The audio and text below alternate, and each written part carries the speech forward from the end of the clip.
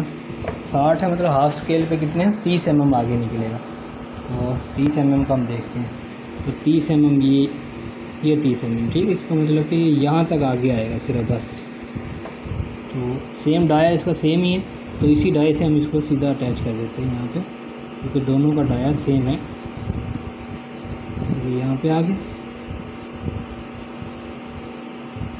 और ये यहाँ पे आ गया ठीक है? इसको हमने आगे ऐसे थोड़ा सा गुलाई कर दी और इसकी डबल लाइनिंग कर दी इसको थ्रेड शो करवाने के लिए। ठीक है, इसी तरह नीचे वाली की भी। डबल लाइन शो करती है थ्रेड को, ठीक है, कि इस पर चूड़ियाँ बनी हुई हैं। ठीक है तो हमने क्या किया अभी? तो ये डब्बा बनाया और ये आगे वाला स्पिंडल का हिस्सा हमने इस हॉल में फिट कर दिया। ठीक है, अब ये बारह एम एम यहाँ से इसकी मोटाई में छुप गया और इस बारह एम को छोड़ के भी पिछला हिस्सा हमने बाहर निकालना है। तो पिछले हिस्से की इसकी पैमाइश कितनी बचेगी, वो हम चेक करते हैं। अब ये पूरे की जो है ना, एक सौ बत्तीस है। एक सौ बत्तीस में से यहाँ तक का साठ माइनस हो गया।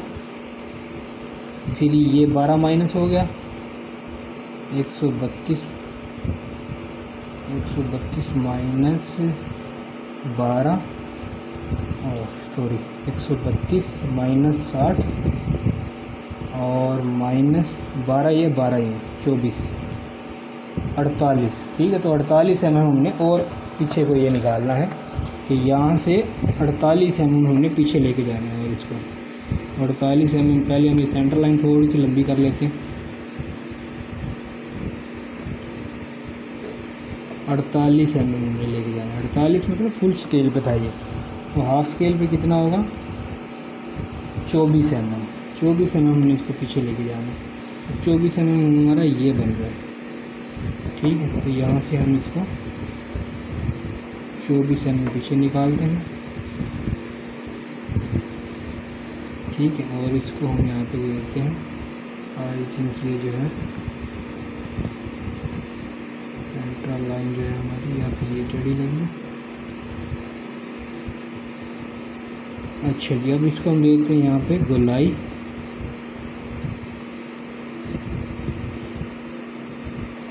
ठीक है तो ये हमारा आ गया। समझो कि हमने क्या बनाया, ये जो अगला हिस्सा था, ये बना दिया। अब इस पर चूड़ी के लिए जो है ना, इस पर थ्रेडेड के लिए डबल लाइनिंग कर देते हैं।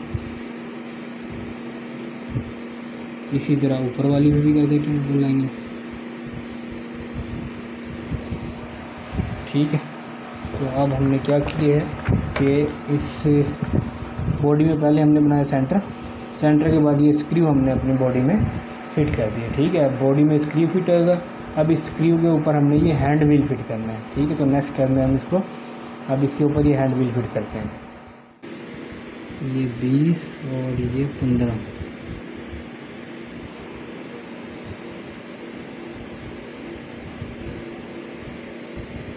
दस, ग्यारह, बारह, तेरह, चौदह, पंद्रह। ये पंद्रह पे सेट हो गया। तो नहीं नहीं ऐसे नहीं होगा। सिक्सटी पे ही लगेगा आई थिंक सिक्सटी तो थर्टी पे लगना चाहिए। सिक्सटी पे करते हैं सिक्सटी पे। चलो सिक्सटी पे लगा देते हैं। सिक्सटी पे कुछ मिलता जुलता लग रहा है, ठीक है? तो ये भी सिक्सटी पे यहाँ पे अटैच कर दिया मैंने। और इसी तरह यहाँ पे सिक्सटी करते हैं दूसरी तरफ़।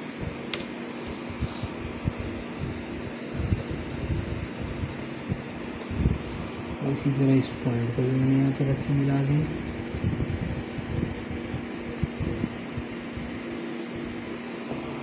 और इसको मैंने ज़ीरो पे दोबारा सेट कर दिया अपने सेंट्रल लाइन के मुताबिक।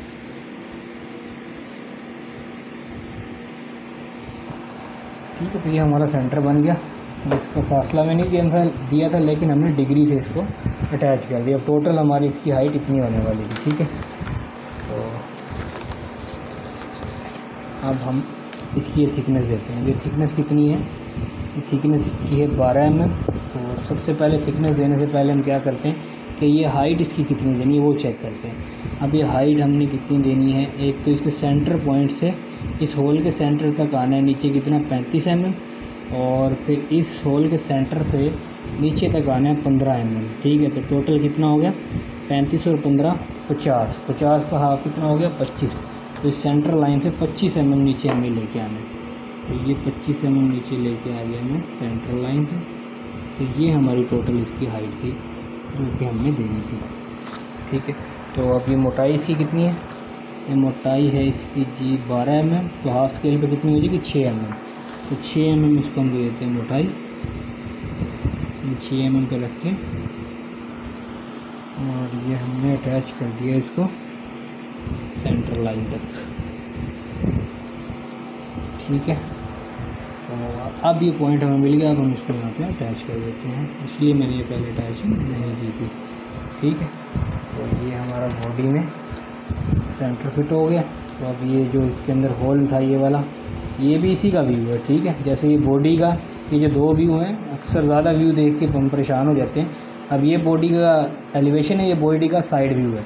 इसी तरह ये सेंटर का एलिवेशन है और ये सेंटर का साइड व्यू है, ठीक है? जो पैमाइश बॉडी में नहीं दी होगी, वो साइड व्यू में दी होगी। इसी तरह जो इसकी एलिवेशन में नहीं दी होगी, वो इसके साइड में दी होगी, ठीक है? जैसे अभी इस होल का डाया यहाँ पे नहीं दिया, लेकिन यहाँ पे दिया हुआ है। तो इस होल का डाया कितने? पंद्रह एम। तो पंद्रह का हाफ़ कितना हो जाएगा? पंद्रह का हाफ़ होगा साढ़े सात। तो साढ़े सात मतलब कि साढ़े तीन ऊपर, साढ़े तीन नीचे।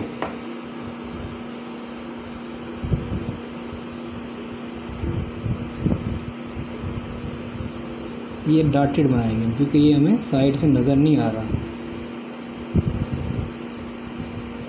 ये हमने डॉटेड कर दिया। ठीक है? तो ये हमारा बॉडी में बॉडी के अंदर हमने क्या फिट कर दिया? सेंटर फिट कर दिया। ठीक है, अब इसके बाद हम क्या फिट करेंगे? ये स्क्रू फिट करेंगे। ये वो टोटल फासला था जो कि हमने इसको देना था। ठीक है और ये पॉइंट यहाँ पे मिल जाएँगे आपस में। और ये पॉइंट यहाँ पे आपस में ऐसे मिल गया। ठीक है, अब हम क्या करते हैं? ये मोटाई देते हैं। अभी मोटाई कितनी है? ऊपर मेंशन है अठारह एम तो हाफ़ स्केल पे कितनी होगी? नौ एम नौ एम एम इसको हम हाइट देते हैं, ये नौ एम एम पीछे चला गया। इसी तरह नौ एम हम उसको यहाँ से निकाल देते हैं। ठीक है तो अब ये ऊपर कितना आएगा? ऊपर ये आएगा जितना ये ऊपर आया हुआ है। तो ऊपर ले आते हैं। इसके अंदाजे से रख के इसके सामने तक आए सिर्फ़ ठीक है, इसी तरह इसको नीचे ले आते हैं। इस अंदाजे से कि इसके सामने तक आए। ठीक है, आप यहाँ से लाइन हम ले जाएँगे पीछे। और ये पीछे लाइन चलेगी। ठीक है, और इसी तरह ये पीछे यहाँ पे चली गई ठीक है, ये आपस में अटैच हो गया। सही है तो अभी हमने क्या बना दिया? अभी इसका इंडा बनाने वाला। इंडा इसका नहीं इंडा बस ये ऑटोमेटिक ही बन गया। क्योंकि ये जो स्पिंडल था, इस इंडाई बना के ही अंदर फिट करना था ना। तो ये ऑटोमेटिक इसके अंदर बन गया, सही है? और अब हमने क्या करना है, इसमें की स्लाट बनानी है इसकी की बिठाने के लिए, ठीक है? तो ये ढाई एम एम का हाफ़ तकरीबन डेढ़ एम एम तो वही जो हमने थ्रेडेड का बनाया हुआ है, उसी में ये जो है ना, इसकी की की जगह आ जाएगी, ठीक है? तो इसी में हम इसको दिखा दें, दिखा देंगे। तो अब हमारा ये भी तकरीबन कंप्लीट हो गया। सिर्फ़ यहाँ पे रेडियस करने थे छोटे छोटे तो वो आप कर लेना। और ये सेंटर लाइन जो इसमें आ गई है, ये थोड़ी सी गंदी लगी है, इसलिए इसको मैं छोटा कर देता हूँ सेंटर लाइन को, ताकि ये इसमें नज़र ना आए। इसमें नज़र आ रही है तो ये दूसरी, दूसरा व्यू भी गंदा कर रही है।